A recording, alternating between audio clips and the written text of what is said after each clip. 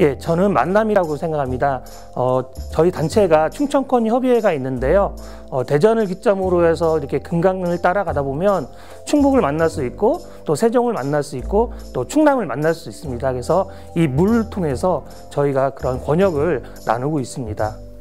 예, 지속가능발전 협의회는 우리 지역의 지속 가능성을 위해서 지속가능 발전 목표라는 것들을 만들었습니다. 그래서 17개 목표가 있는데요.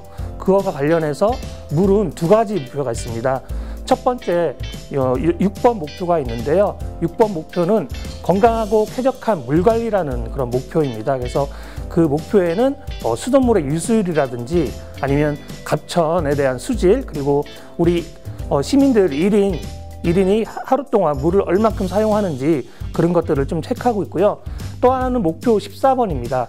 대청호에 관련된 그런 목표인데요.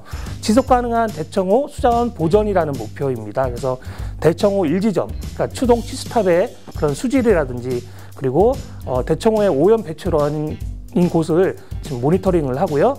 또 생태학천 복원을 얼마큼 하고 있는지 그런 것들을 저희가 모니터링하고 조사하고 있습니다.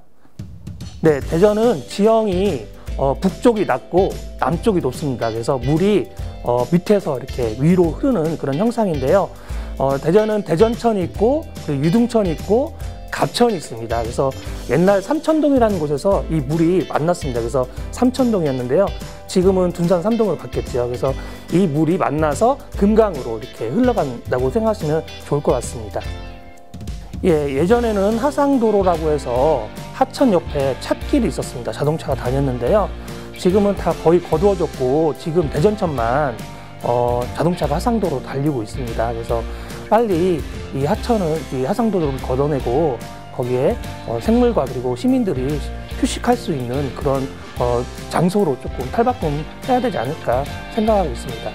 어, 물은 생명이다라고 생각이 듭니다. 그래서 좀 자연을 대할 때 좀 더 저희가 조심스럽고 좀 귀하게 좀 여겨졌으면 좋겠습니다.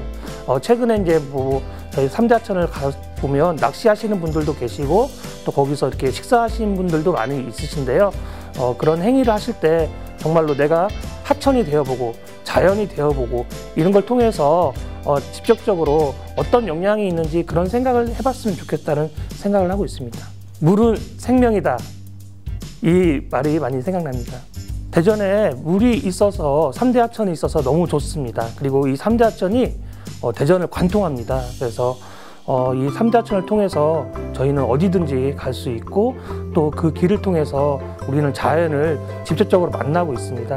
그래서 너무나 고맙고 또 우리가 미래 세대들한테 우리 대전의 삼대 하천을 꼭 물려줘야 될 어, 유산이라고 생각합니다. 금강아 우리 삼대 하천에서 깨끗한 물을 너한테 보내줄게.